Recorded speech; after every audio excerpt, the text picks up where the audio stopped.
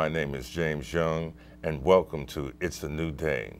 Today, my guest is Issac Collins. This is someone who grew up in this community and has become very renowned for the work that he's doing. Issac Collins is a social worker for the Rochester City School District. And normally, when you hear the term social worker, you think of this stereotypical person who looks at social problems from a distance because many times the social worker is not from the community that they're serving. But in this particular case, Mr. Collins brings a very unique perspective to the work that he does in this community. I'd like to now introduce Mr. Collins to our show. Thank you so much for coming. Not a problem. Thanks for having me. Please share with us about growing up in Rochester. Uh, growing up in Rochester has been a great experience for me. Um, I really love the city, has a lot to offer um, young people especially if those things are, are, identified and spelled out for them. And that's part of my role as a social worker. Um, I've been born and raised here. The only time I left Rochester was to go to uh, college in Buffalo uh, for six years and then returning back to Rochester to serve my community in this capacity. Very good. Before we really get into your work, I'd like to ask you how closely related is the work that you're doing and the people that you're working with, how closely related is that to your own personal life? Identical almost. Okay. Yeah. And tell us a little bit about growing up in the uh, in the community that you grew up in, as well the things that turned your life around and put you into the direction that you went into. Okay. Uh, as you stated before, I grew up in the city of Rochester in the Crescent area, and um, extremely difficult. Uh, very early on, I had to learn that the power of education. Um, that's pretty much what got me on the path that I'm on today. But before I found that power, I was searching and looking for an opportunity to become involved with my community. And all I seen available in my community was majority negative resources. Okay. There are a lot of drugs, there are a lot of crime, um, a lot of despair in my community, which sort of began to shape my thinking along the lines of doing something different. Okay. And so it was a mentor that I had when I was younger who helped show me the way almost and, and really taught me the value of education and I began to latch on to that power and excel in that way. Okay. Now, will you tell us the students that you work with or the group of people that you work with in the city school district? Sure. Currently, I work for the city school district with the program called Youth and Justice. And we work with young men and women, mainly men, young men for me, in the juvenile system. Um, they're either in uh, incarcerated, um, chemical dependent, or either on probation. And so what I see a lot of times is these young people in a system that they don't know anything about, can't navigate the course, but is sort of stuck in that system looking for a way out and an opportunity to really live up to their potential. Uh, I, am assuming that you must see a lot of pain in these young people. Can you begin to express that? Sure. Uh, each time I meet with a young person, the first thing I do is, is look them straight in their eyes and I can see the hurt and the pain. I'm a firm believer that behavior is a sign of an unmet need. Mm. And so what I do is I try to find out what that need is. I go a little bit deeper than the surface than what a typical social worker would do from outside of the community. Me knowing some of the struggles and seeing what they're going through, I know that they have the resiliency if you dig a little deeper. So what I try to do is I dig for that unmet need and try to meet them at that need. And sometimes it draws back to early years in life when um, parents may have got a divorce, um, they may have uh, witnessed uh, some type of trauma in their life that sort of shifted their thinking and shifted their mental capacity, so to speak, to allow them now to think on a road that is not so good. Because you have hands on experience in this matter, is this part of the reason why so many children are failing? It's not necessarily because they can't perform academically, right. but it's because of social problems and social pressures. But would you speak on that? Yes, absolutely. Working from an academic standpoint, I see a lot of minority students in special education. And they have this label, and it's not necessarily because of their academics, it's because of their behaviors. And then, as I stated earlier, behavior being a sign of an unmet need, no one taking the the time to really find out what that need is because once that need is met, the behavior would change and they'll be able to excel academically. But if their basic needs aren't being met as far as food and shelter and clothing and things of that nature, they feel that they have to go out and almost get it themselves. Especially coming from single parent homes where mom is doing everything that she can, the father is absent most times, incarcerated himself. So he's not able to really uh, provide for the family. So the young person takes it upon himself to go out in the community and make fast money, so to speak, and find themselves in a, a dead end situation. Looking at your bio, one of the things that you had mentioned in your bio is how you deal with chemically dependent youth and sometimes even their parents. Yes. I, that to me is got to be absolutely tragic. Would you share those experiences with our viewing audience? Yes, I see it every day. Um, it's probably one of the most hurtful things I see in this role as a social worker.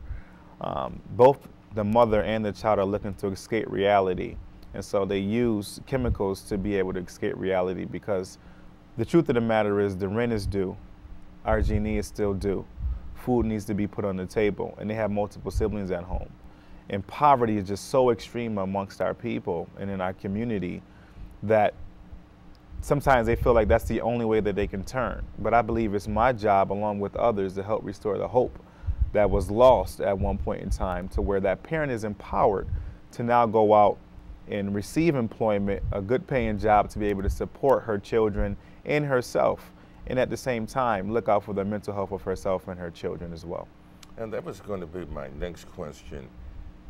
How does that healing process begin? Is there even the possibility of even for families such as this to heal? Absolutely. Um, resiliency is, is, is a word that I preach on a consistent basis to my students um, and even to the parents when I go to their homes and I meet with them. And I let them know I meet them where they are. I don't, I don't try to stand above them or, or make them feel belittled in any type of way. I will get down to their level and I'll support my families as much as possible. Um, so to answer your question, there, the healing process really takes place when they do a, a self-examination and they meet reality and they see exactly where they are and they're willing to change. If they're willing to put forth effort I'm willing to assist them in whatever I need to to help them to be restored. Is the education system um, prepared to accept the findings that you have when it comes to academics?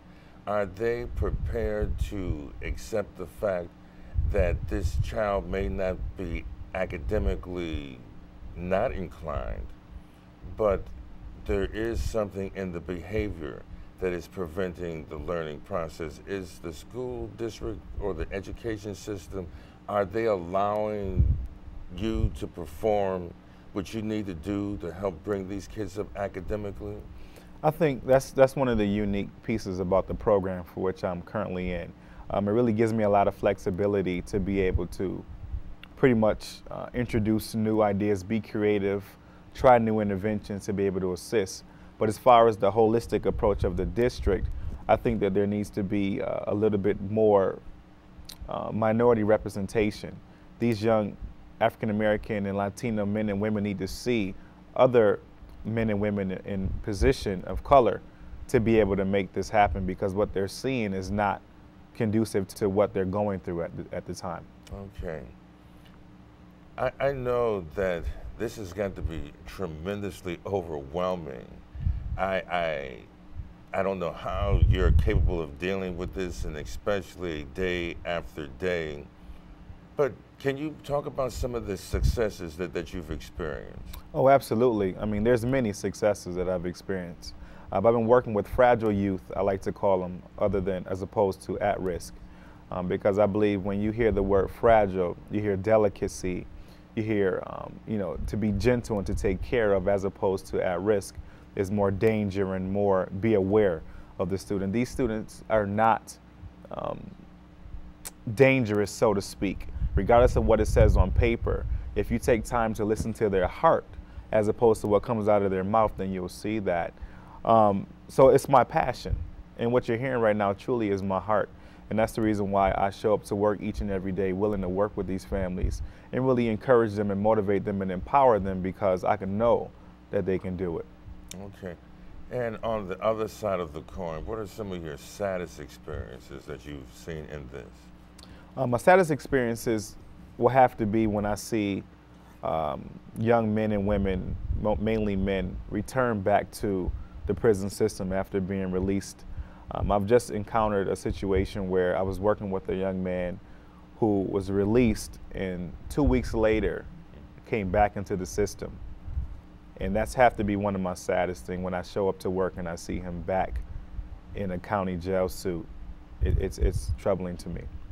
When you do see recidivism like that, what is the approach? I mean, because I, I know in most circumstances, when you see this young person come back maybe again and again, there seems to be the tendency just to give up. And how do you continue to, to be encouraged, to continue to encourage this mm-hmm. person that, okay, you, you, you still have another chance at turning your life around? And how, how does that process work? You never lose, lose sight of hope. And that's what I continue to instill in them. Even though you've been down this road once or twice, or maybe even three times, still don't lose your hope because the towel is not thrown in, the fight is not over. You have to continue to fight day and day, day and day again because these young people really need to see that they can make it regardless of what they may go through. And a lot of time is the cycle needs to be broken. And the only way the cycle will be broken is to teach mm. and for the young person to learn um, what's going on, truly for them to see what's going on so they can move forward. Because this is what you do on a daily, regular basis, what are these young people thinking? What is, what is their world like? I mean, we as an adults, um, we see the world so differently. We see it of us telling them what to do, what yes. not to do.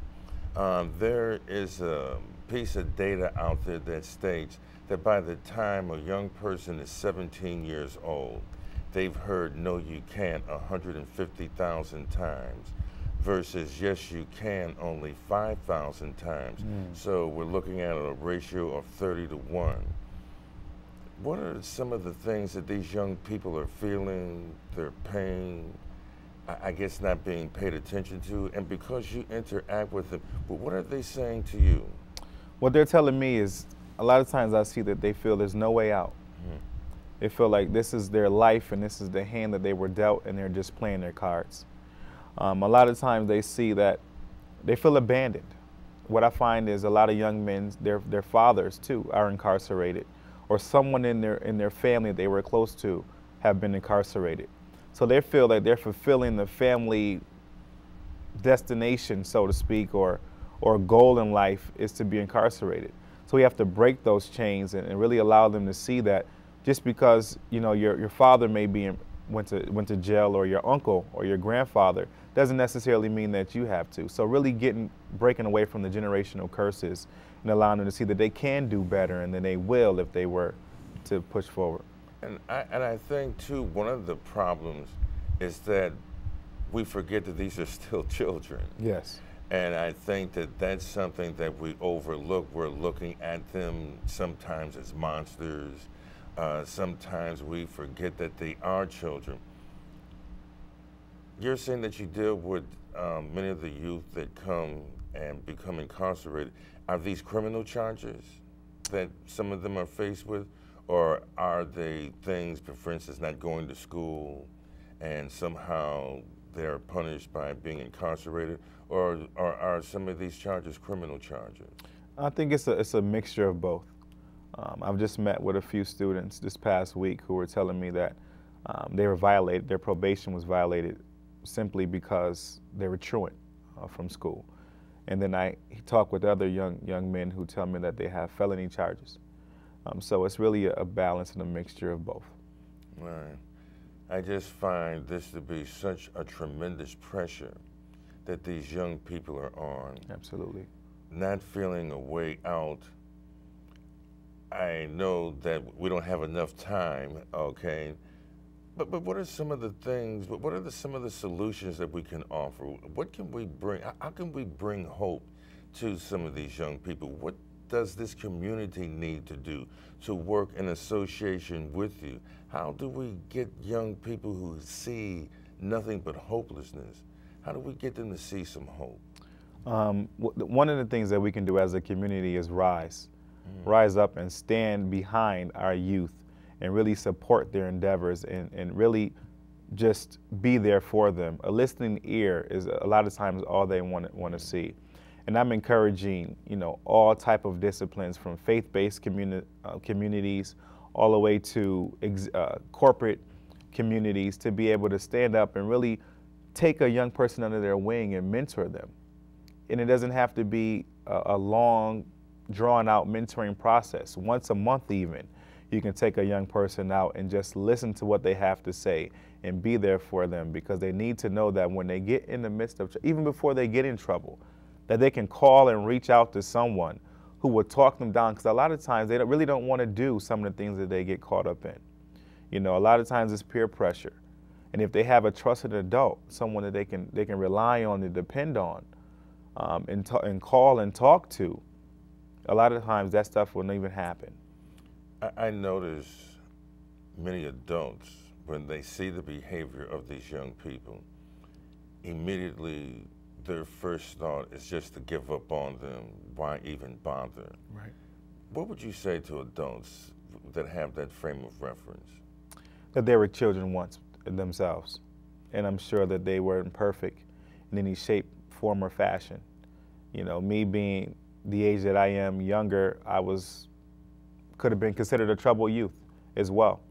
You know, the, the, the people that I hung out with, my friends, we weren't, you know, the best of people growing up, but we made a way. Uh, there's that resiliency again. We still, we had, back when I were younger, we had mentors and we had the Big Brother, Big Sister program. We had the Boys and Girls Club. And we had individuals who checked on us and held us accountable. I think that's the difference these days. The young people don't have anyone to hold them accountable. So I would tell adults to hold them accountable in a loving way. What is also a message that you should be able to tell adults? What do we need to know when dealing with young people? Because now, naturally, this is your profession, and professionally, you understand how to interact. But yes. what can we do as adults? How do we begin, and especially when these aren't our children? There was a time when there was that accountability that you're talking about. There was a time when in our community that if a parent saw a child acting up, that child's parent gave that other parent the authority yes. to reprimand that child. We've lost that. Yes. Is this something that we should be going back to, or how do we bring those types of things back into the community to let each child know that there is someone that cares about them? Great question. I absolutely believe that we should go back to the way things were, where uh, trusted adults was given the permission to reprimand children who stepped out of line, so to speak. I think we should go back there, and the way that we go back there is building relationships. Um, there's a lot of times now, these days, you, you live on the street for 10 years and you don't know the neighbor beside you. You know, and, and people don't reach out to each other anymore. They don't go over and have conversations. They don't know what's going on in the house next door. But I think that that's important to know because it takes a village to raise a child. And the community is, is there to enforce some of those things. And I think that we're all a part of the same community in a sense where we need to be accountable to our children. We need to let them know that we care for them and that we love them. So I agree that we need to go back that way, and it, and it starts with relationships. Well, before we go on to the next point, I remember we had a woman like that in our community when I was growing up. She was all of our mothers. That's right. I love the woman so much. I mean, I literally moved into the house. I moved my clothes upstairs, and I lived there part time. So, uh, and she was such an inspiration to not only me, but to several, several people yes. that was in the community. Getting back to the chemical dependency. Yes. How pronounced is this now in the community? Oh man, I would say two out of every three youth oh, are using uh, some type of uh, illegal substance, whether it be uh, marijuana, alcohol, even cocaine uh, is what we're seeing as, a, as an escape and release. I mean, it, it begins as a recreational activity, and then it becomes a dependence and, and an abuse. And I, I would assume seeing young people going down this particular path, once again, from a personal point of view, how, how, does this impact you personally? It impacts me greatly because I have a six month old daughter, oh. you know, who will be growing up soon and she'll be engaged in this community and this generation. And to be honest with you, I'm, I'm quite afraid of the way things are going if we don't help turn things around. You know, it's very important. So I'm personally invested in that way and then also from my profession standpoint. Okay. I had asked you this off camera. How do you stop from bringing this home? I mean, I, I am listening to you, and I'm assuming many of the viewing audience that is that are listening right now. And how do you stop from bringing this home, or do you bring it home? How do you deal with your job personally? Because I, I, I think it's hard to go out from nine to five and say, okay, I'm in this world, and then mm-hmm. come home at five o'clock, five thirty, and leave this on the doorstep because I'm listening to you, and, and, this is so personal. I mean, yes. you're dealing with an individual's life, and then if you're not only dealing with this child, but you're perhaps dealing with the parents. So yes. these are these are real factors. This isn't something that you're reading in a book. This isn't just theory. Yes. I mean, you're dealing with human lives, and how does that impact you when you're not working? Um, greatly the way that I handle it is uh, lots of vacations. okay. Um, I try to go on vacation uh, at least once a year. Okay. Um, that that helps me. But when I can't get away, my, I told you off camera, my wife is a social worker as well, and um, her and I we have plenty of conversations. So to answer your question, I bring it home. And I thank God for a spouse who can relate and can help me process some of these things because sometimes it's so heavy on my heart that when I come home, all I do is look to um, allow that to be to be explained and expressed to her. You know, the saying is every social worker needs a social worker. okay. So I have mine right at home. well, that's a beautiful thing. Yeah. Does she do similar work? Yes. That you're doing? Yes. She okay. she focuses with uh, young women mainly, as I do young men. Okay. Um, how does this impact young women? Because once again, I, I come from an era, and maybe I'm totally antiquated, but I come from an era when we look at women as being mothers. Yes. Th these are the vessels for the future. Yes. And in today's world, and in particularly, black women are now going to prison in disproportionate numbers. Yes there is not another group going to prison as fast as young black women. Yes. How do we turn that around and and look at the now we've seen what the impact when there are no men in the community. Yes. Because there are no fathers to help raise the children. Yes. But now if we start incarcerating women at this particular rate, now there'll be no women, so that boils down to there'll be no children. Right. Um, young women, I think they need to learn their value, uh, be taught their value at a very early age. And a lot of times, their fathers are the ones that's supposed to teach them their value. But since the fathers are absent most of the time, they begin to find value in other places. Um, sometimes with men that can care less about them and treat them any old kind of way, and they okay. begin to live a lifestyle that sort of reflects the way they were treated by these men. Okay. And so their hearts become hardened. And when your heart gets hardened, you tend to do things that's totally outside of character that you wouldn't have done okay. if you received that love and that nurturing and that, that, that reassurance from an early age. That's why it's so important for me to reassure my daughter at such an early age and let her know, you know, who she is as a young lady and as a woman so that she doesn't have to look for any type of reassurance in the street. How do you deal with young men that perhaps have already impregnated a woman yes. to become a father, and especially if they don't have a father to image yes. fatherhood? the first part of the question. What kind of counseling do you give these young fathers to be better fathers? Um, two things accountability and responsibility. Mm. Those are the two things that I preach to uh, teenage fathers. Um, I'm a little disappointed because there's not enough resources in the community for teenage fathers. You know, how to change a diaper and how to prepare a bottle and, you know, how to soothe a crying baby and how to just be there and support their children. Um, so uh, for me, my standpoint is re- responsibility and accountability for these young men, teaching them that it's not anybody can make a baby, but it takes a father to really raise that child. So that's the, the perspective and standpoint I take from when I'm working with uh, young teenage fathers. That's a very valid point. I, I was 36 when I had my first child. I, I didn't have a clue. Um, when she was college, I, I, didn't know what was going on. I, I, I did know, unfortunately, babies don't come with manuals. Yes. So I would imagine this is really have to be impactful on a young teenager. Yes. Being a baby, if you will, himself. Yes, it is.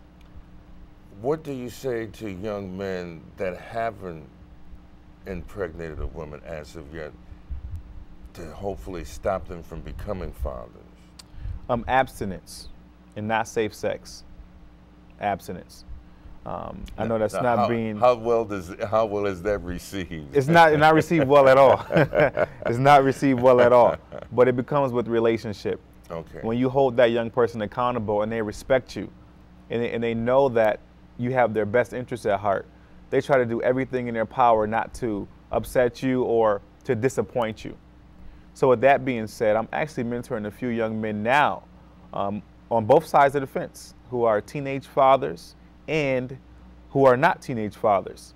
And I'm telling the ones who are fathers to be responsible and accountable, and I'm telling the, the ones who are not fathers to practice abstinence so that they don't have to go through some of the things that young teenage fathers could have to go through. I mean, I'm 30 years old and I have a six month old daughter and I'm married. I have a master's degree, my wife has a master's degree, and it's still difficult for us to raise our child financially. You hit a very valid point when you were explaining this, and that is it's because these young men know that you care about them, and it's because they know you care about them that they won't do anything to disappoint you. Yes. I, think that that is such a valid point. Yes. Because many times we as an adults or we've become so estranged from young people that we have stopped looking at that. Mm-hmm. And I believe that if we could get more young people to understand and know that we care about them, yes. I think that that would give them a greater sense of themselves. Absolutely. And knowing that if they did something, that this is going to impact someone that loves them. Could you speak a little bit more on that? Absolutely. One thing I like to uh, really encourage adults to do is learn the cry for help. Mm.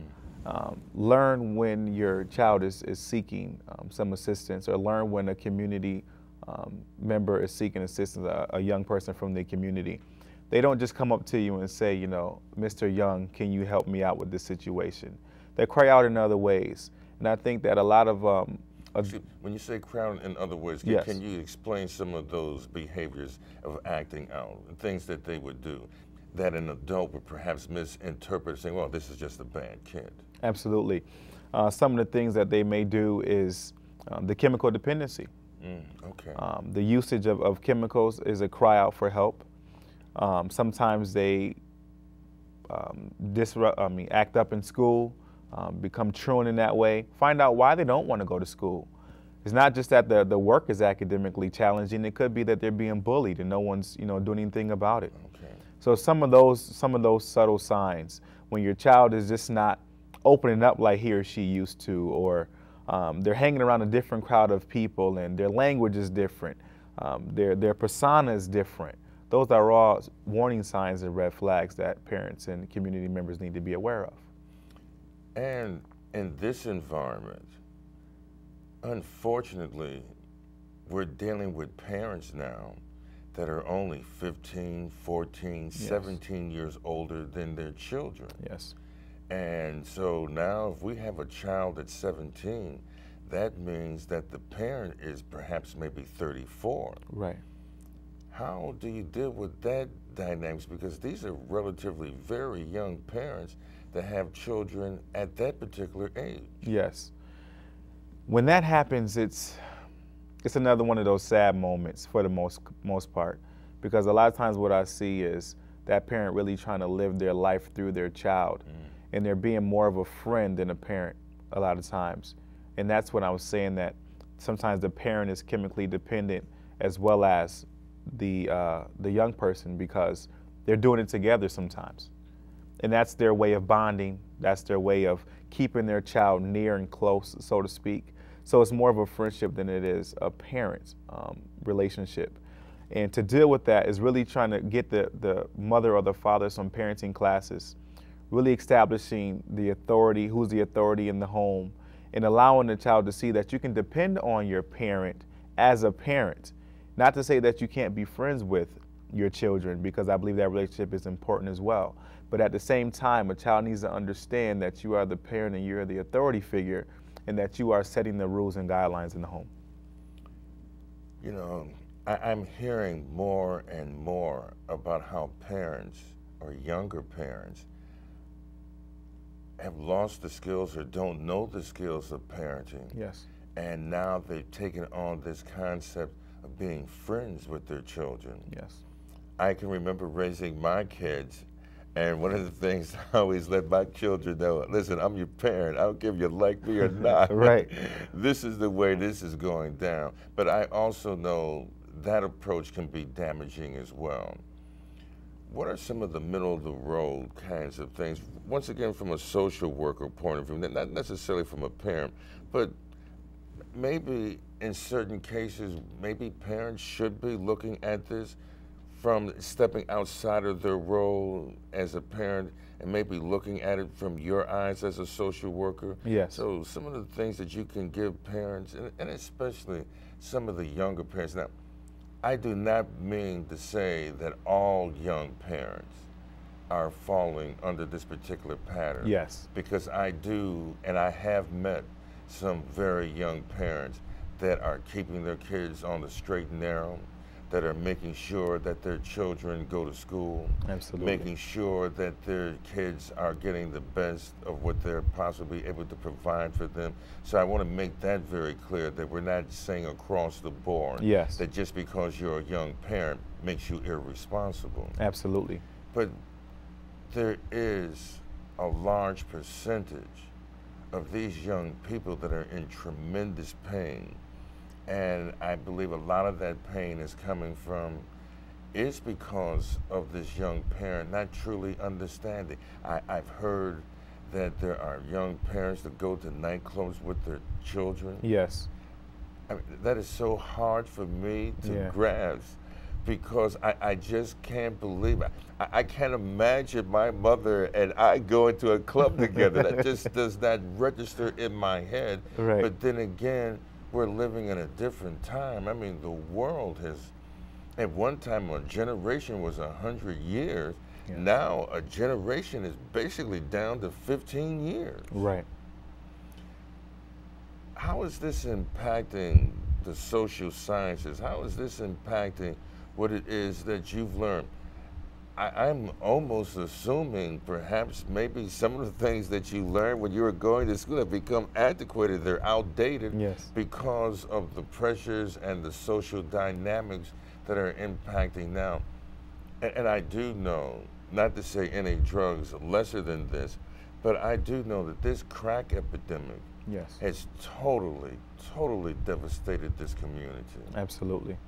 In ways that we are still yet discovering.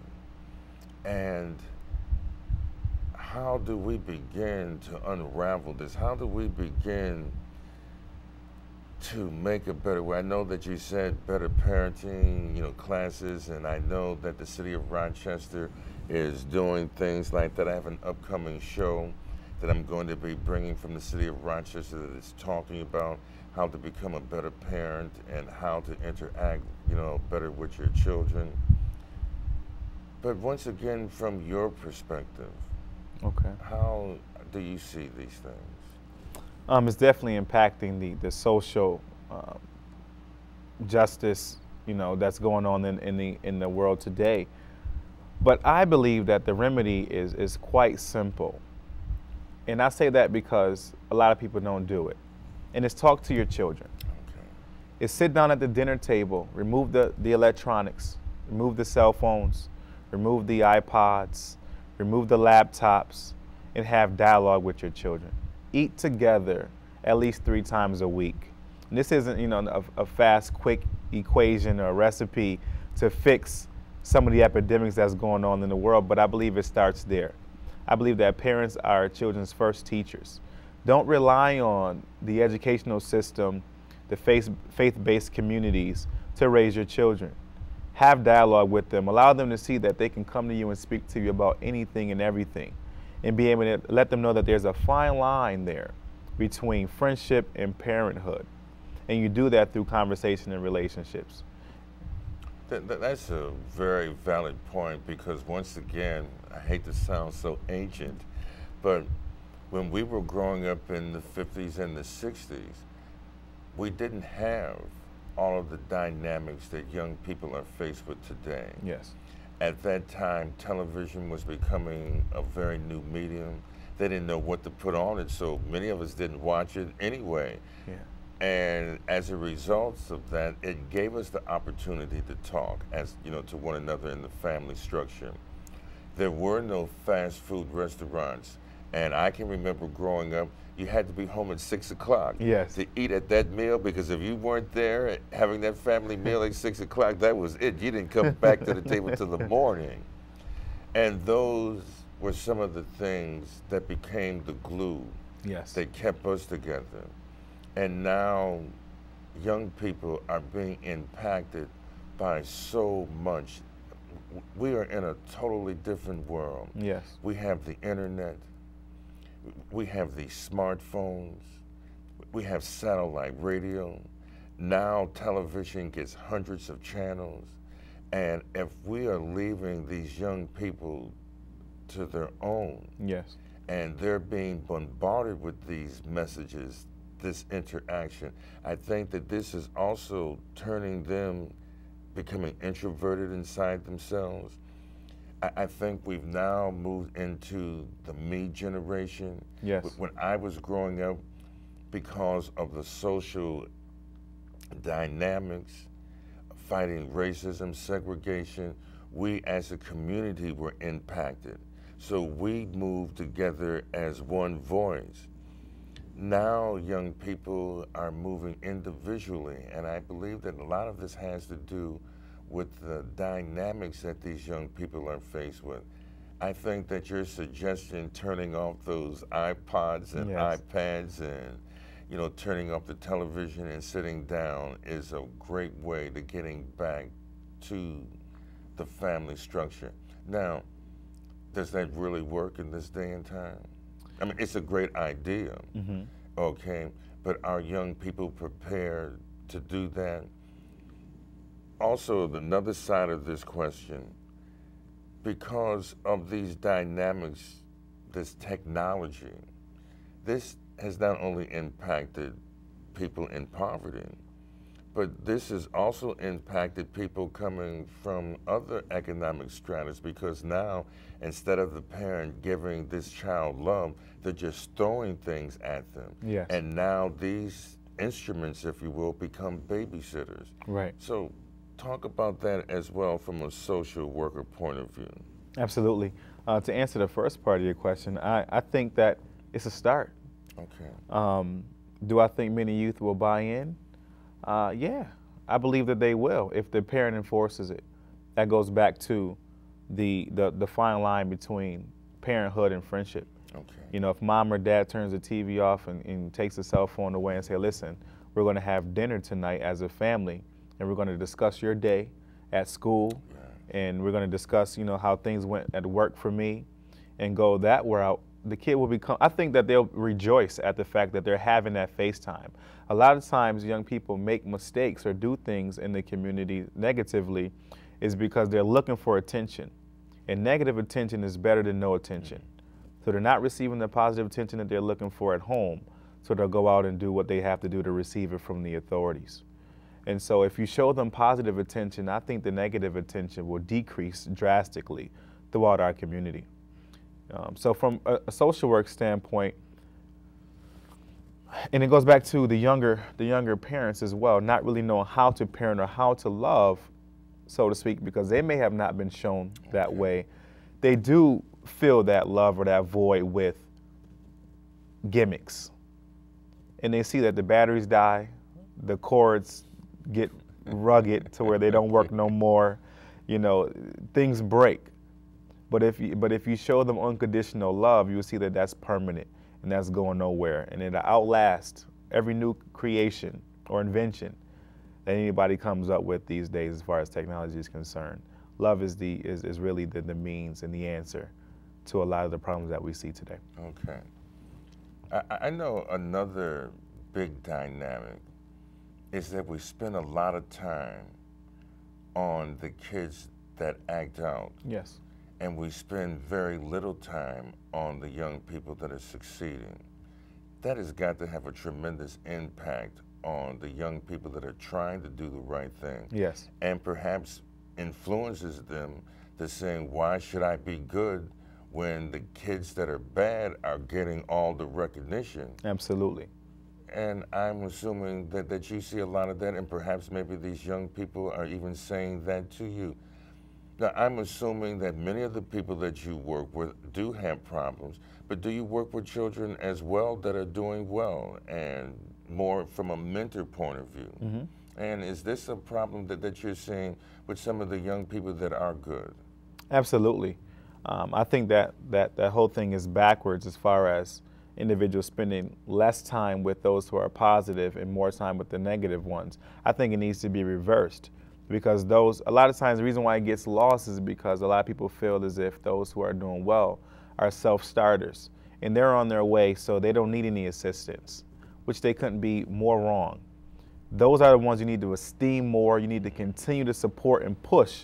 Be their backing so that they continue to excel because if not they become stagnant and they become you know pretty resistant to the fact that what is success getting me you know, no one's noticing, no one's recognizing. So like you said, I might as well be like my peer who's getting in a lot of trouble. At least I know that he's getting the attention. Not to say that you totally turn your head away from those who are doing wrong, because the hope needs to be restored in them as well. But at the same time, I think more energy needs to be placed on those who are excelling, because those are really the ones who are going to help shape and come back for those who um, are not necessarily doing as well. Okay. I want to go back to the education system for a second here. How do young people view education? Historically, education was equated with freedom. Yes. In the early part of this interview, you used education as a means of freeing yourself up from an environment that you didn't feel that was conducive to give you a bright future. Yes How are young people looking at education, from my eyes, it appears that young people don't see education as a gateway to success. Exactly. They have a different viewpoint because you work closely with them. Yes. How, what, what is your interpretation of this? Um, that's a very good question. Because to be honest with you, what I see these days is um, education not being valued at all. Um, it's not worth it, is what I hear from a lot of young people. Um, Before, how do they get to this state? What makes them get to a point of where, because there are other segments of this community that still hold education as the gateway to success. Yes.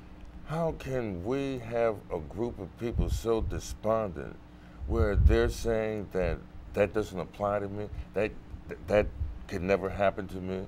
I'm always going to be in this hole. Because we live in a microwavable society. Mm. And a lot of these young people, they see, they want what they want when they want it right Okay. now. Yeah. And since education is a, a long term investment, they don't see the reason for it. I ask young people all the time if they know the degree ranking order, and they tell me no. They don't know that it's an associate's and a bachelor's and a master's and a doctorate. They can't tell you that because they don't see themselves in it. So, going back to what I said earlier, it's our job to instill in them the hope and empower them that they can achieve. And there are many organizations, community organizations, that value education where you can get extra help, tutoring, um, that can assist you in these in these efforts. But young people don't see the or can't make the connection of long term versus short term. You know, they want money in their pockets right now. They want these gadgets, latest gadgets right now. They want the latest sneakers right now, the latest clothes, but they don't see that you have to work. I just told a young person the other day this quote I said, if you can remember this, you'll be successful. The more you learn, the more you earn. And he said, you know, what does that mean? And so I broke it down for him. I said, you know, pretty much the further you go in school, most likely the more money you'll earn, the, the greater sa- your salary will be, to where you can be a homeowner and really achieve that American dream that everyone speaks so highly of. I, I just find it an, an amazing set of circumstances that we can be this far removed from the, the very necessities that will help nega- negotiate you Yes. through the problems that you're faced with, to, the, to taking care of a family. And I guess I come back to, it has to come back to the family structure. Yes. And I'm assuming that perhaps maybe the reason why education is no longer a main thrust is because their parents Yes. may not be educated as well Yes. And therefore we've lost that.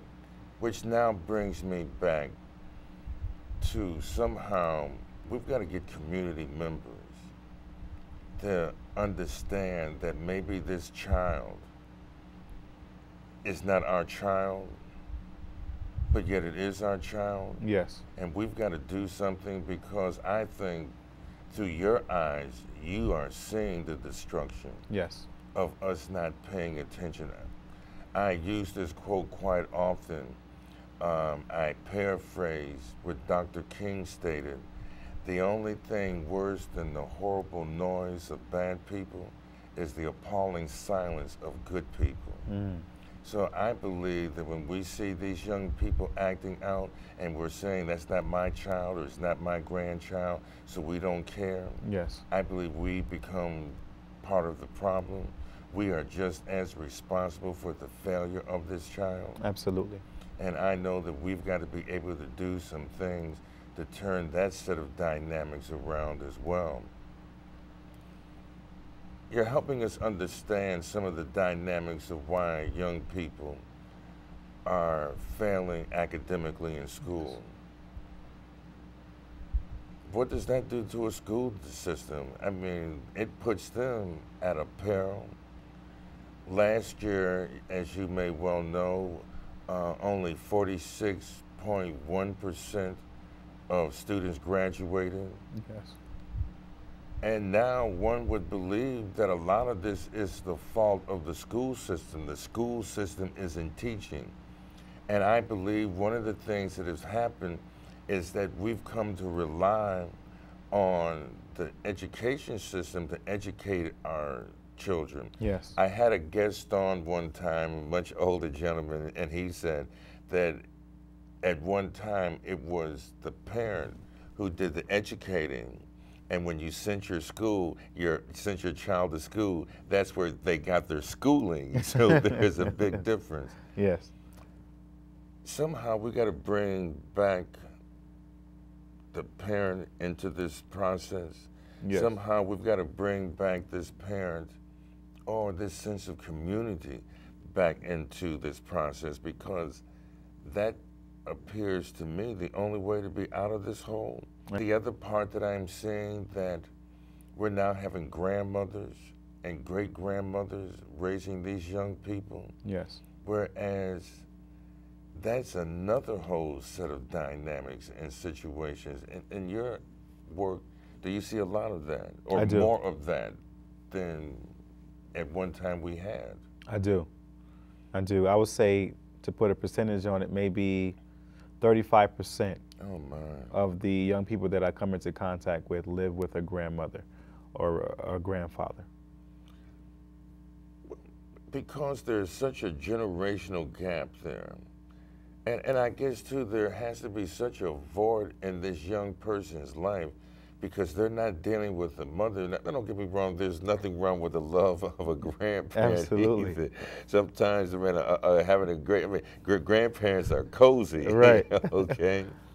but to not have your parent there and to live with your grandmother on a consistent basis, I, I would imagine there's got to be some trauma with that as well. Yes, it is. Yes, it is. And is this another part of why young people are acting out as well? Perhaps this is something else that they're trying to say? Yeah, because you know when you're living with your grandparents, a lot of times they're totally removed from the current generation. Oh, yeah. They grew up in a, in a time where things were totally different, so they can't really relate to their grandson or granddaughter. I mean, they're cozy, they're they're great to be around, they love you unconditionally, uh, they probably cook the best the best dishes. but when it comes to really sitting that young person down and talking to them about what's really going on in the community, in their behaviors and stuff like that, they don't really have much to, to, to really say regarding that because they're not out in it. And then the, the question poses in the young person's mind, you know, why doesn't mommy or daddy want me? You know, they feel abandoned again and they feel left um, to fend for themselves, so to speak. So that's that's really an, a big question that comes up is, well, if my mother or father love me like they said they do, how come I don't live with them? How come they don't care enough to have me underneath the same roof? And the kid doesn't see that the parent may be struggling, may can't afford housing, um, may looking uh, is looking to um, where their next meal is going to come from. They may not know, but they can't see that. All they see is that they're away from their parent and they're living with their grandparent and so it raises the question that my mom or my dad does not care enough to have me live home. Now, I, I've known that we've covered a lot of ground in almost an hour.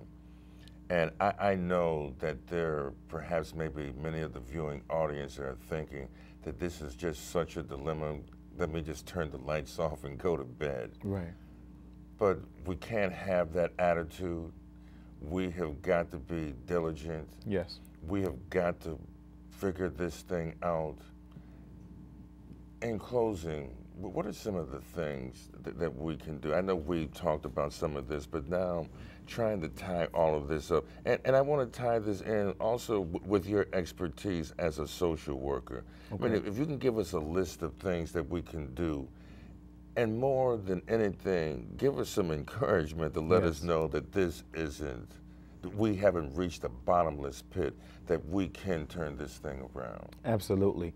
Some of the things that we can do as a community is to reach out to our local uh, non-for-profits that may be uh, in our area um, or for-profits, somewhere we can uh, mentor some young people, whether it's taking a day out of your busy schedule, going to a public school, and, and helping out in some way, shape, form, or fashion these young people and trying to show and letting them know that you are there for them, you're ready to listen to what they have to say.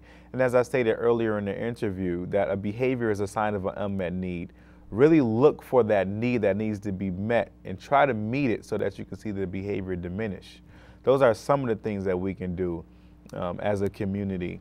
And from a social worker standpoint, I just want to encourage everyone to let them know that we have not hit the bottom. Okay. There's still hope in our youth. they still inspire to be great, and they will be great with the help of us and others. And I believe with you on our side, because I believe it's going to take great people to make us great.